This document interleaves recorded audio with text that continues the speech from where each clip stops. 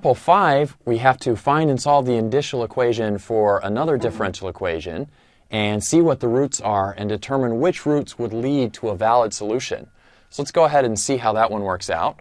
Um, again, we start with the same exact guess as before. That's uh, y is equal to the sum from n equals 0, a n x to the n. And since we're using uh, series solutions around regular singular points, we're going to jack that up to x to the n plus r. And let's look at the different terms that we're going to have to study here. Um, we're going to have a 3y here, so I'll go ahead and figure out that uh, 3y is just the sum from n equals 0 of 3an x to the n plus r. Um, and then we're going to have an x times y. So x times y is the sum from n equals 0. That just bumps it up by a power of x, so a n, x to the n plus r plus 1. And now let's figure out y prime.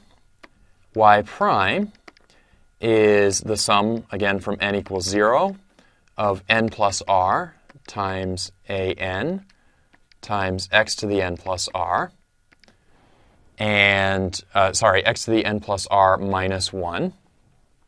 And we're going to have to deal with 3x y prime and x squared y prime. So let me go ahead and work those out.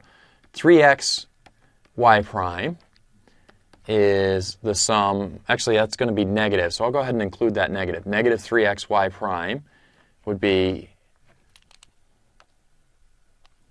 I'll put the negative inside the series.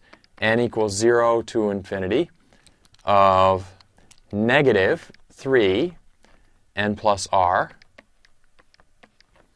a sub n. Now, x will bump up the power of x to x to the n plus r. x to the n plus r. And I'll also have to deal with a negative x squared y prime. So negative x squared y prime would be the sum from n equals 0 of negative n plus r a n. Now the x squared is going to bump it up from x to the n plus r minus 1 to x to the n plus r plus 1. So that's our negative x squared, y prime. And finally, we've got a y double prime, so let me calculate that. y double prime is the sum from n equals 0 of n plus r, and then we've got a second derivative here, so I'll go n plus r minus 1, an times x to the n plus r minus 2. But we're going to have to deal with x squared y double prime, so I'll go ahead and multiply that by x squared. So x squared y double prime is the sum from n equals 0 of n plus r times n plus r minus 1 an, and now the power gets bumped up to x to the n plus r. It was n plus r minus 2 before, but we multiplied by x squared, so it's x to the n plus r. So if we look at all these different series that we have to combine, remember there's a two-step procedure to combining series. Um, the first step is to match exponents. So we want all those series to be in terms of x to the n plus r. And the second step will be to match indices, starting indices. Of course, we'll only get to that after we match the exponents.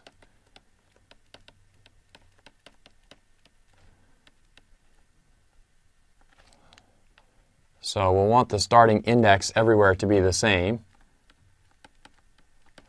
So we'll see what that has to be after we match the exponents. Um, when I look at all these different series, I've got x to the n plus r here. That looks pretty good. Uh, my xy has x to the n plus r plus 1. And so I'd like to lower that down to be x to the n plus r.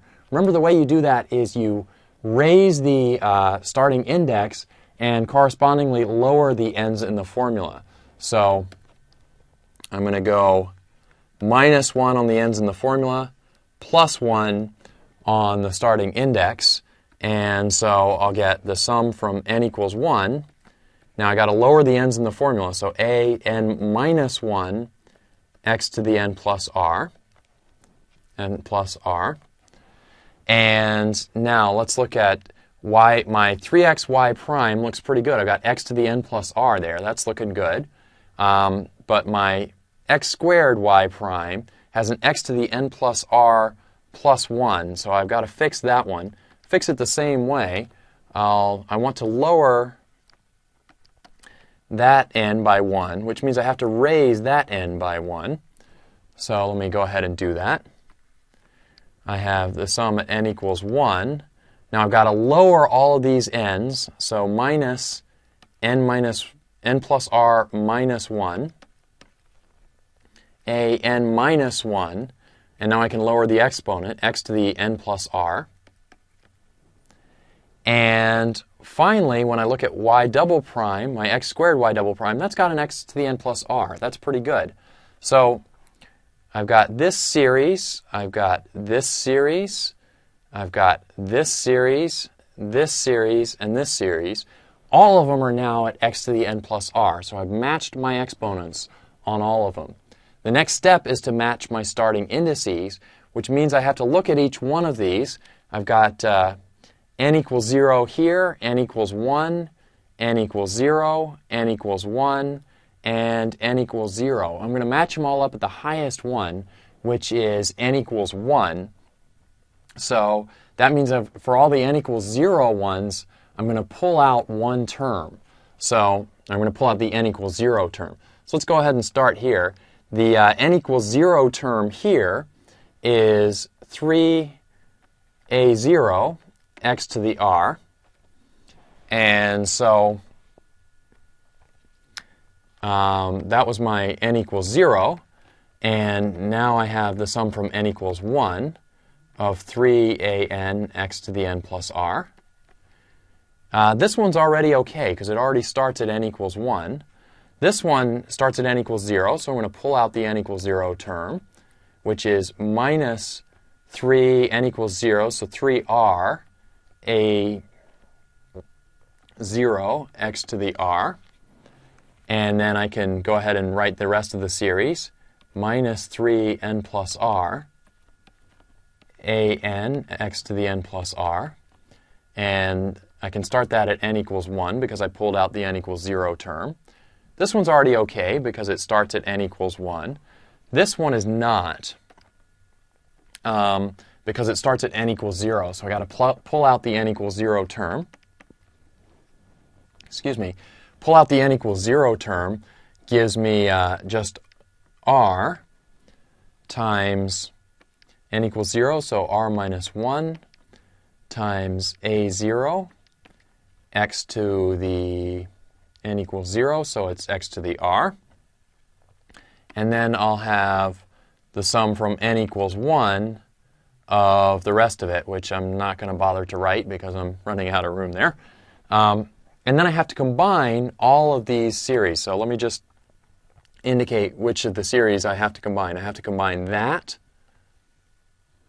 and that and that and that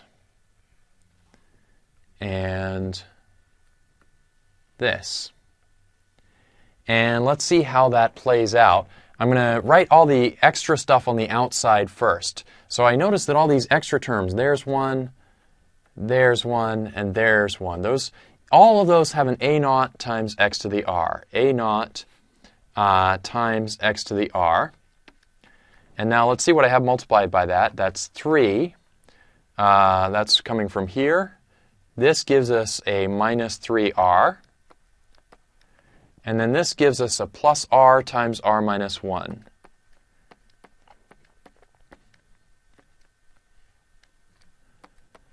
And the other terms will all be the sum from n equals 1, and they all have an x to the n plus r, so there'll be an x to the n plus r on all of those.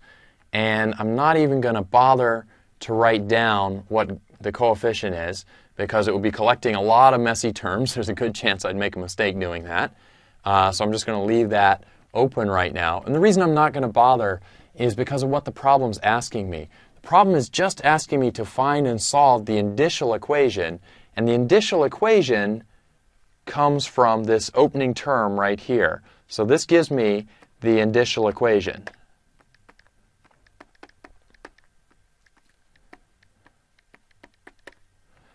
So we're going to find that, we're going to solve it, and we're going to see which values of r would lead to a valid solution. So let's keep going with that on the next page. Um, the equation that we had right at the end of the previous page was 3 minus 3r plus r times r minus 1 times a naught times well, that was the coefficient of x to the r plus some stuff starting with n equals 1 times x to the n plus r plus 1 equals 0.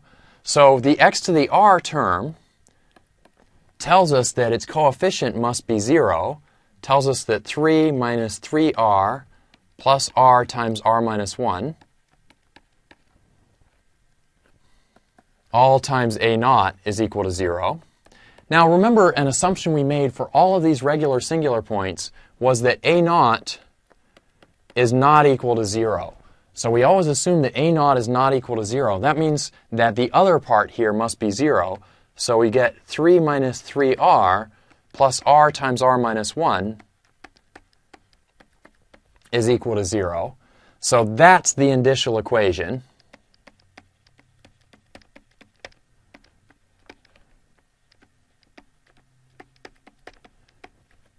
That's the indicial equation right there. But we're also asked to solve that, and we'll go ahead and solve that. It should be a pretty easy quadratic polynomial. In fact, if we uh, multiply it out, we get 3 minus 3r plus r squared minus r is equal to 0. So r squared minus 4r plus 3 is equal to 0. And if we factor that, that's r uh, minus 1 times r minus 3 is equal to 0. So r is equal to 1 and 3. So we get two roots of the indicial equation, and the problem asks us to determine which roots would lead to a valid solution. And the important thing here, if you remember back to the very beginning, the lesson overview, um, there's an important distinction when the two roots differ by an integer. So here, 3 minus 1 is 2, and 2 is an integer. So the difference between the two roots is an integer. So since the roots differ by an integer,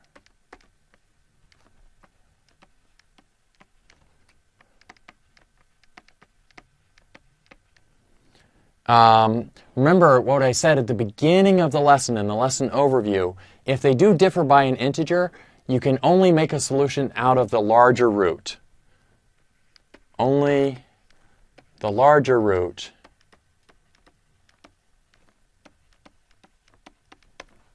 r equals 3 would lead to a valid solution.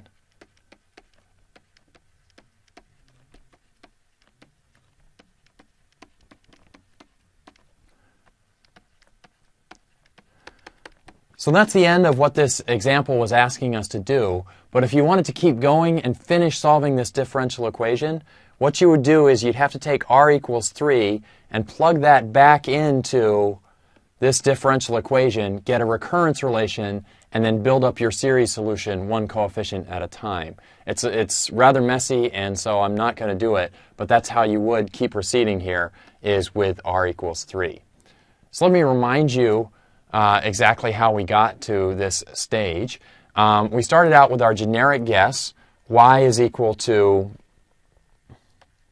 the sum from n equals 0 to infinity of an x to the n plus r.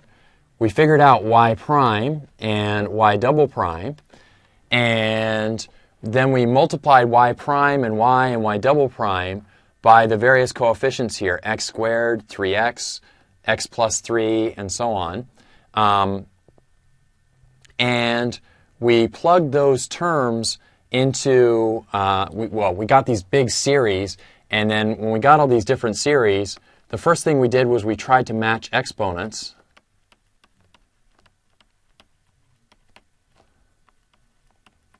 x to the n plus r.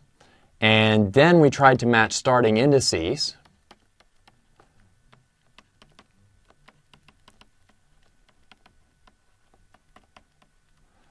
Now, with these series, some of them started at n equals 0, and some of them started at n equals 1. So what we did was we took the n equals 0 series, and we pulled out the n equals 0 terms, and we started the series at n equals 1. So they all matched at n equals 1.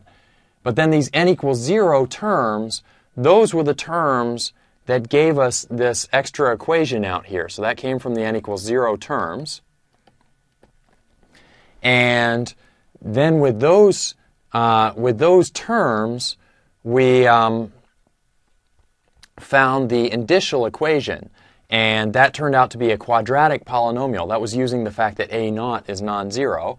So that turned out to be a quadratic polynomial, which was pretty easy to simplify, to factor, and then solve into r equals 1 and 3. So we get these two roots, and we check their difference, meaning we subtract them we notice that their difference is an integer. The, the difference between the two is a whole number. And we had a rule from the beginning of the lesson that if the roots differ by an integer, we, you're only allowed to use the larger one to get a solution. So the way you go ahead and finish this differential equation is you take that larger root, r equals 3, plug it back into the recurrence relation, and start solving for your coefficients one at a time. So that's the end of this lecture on uh, regular singular points as part of the series Solutions of Differential Equations.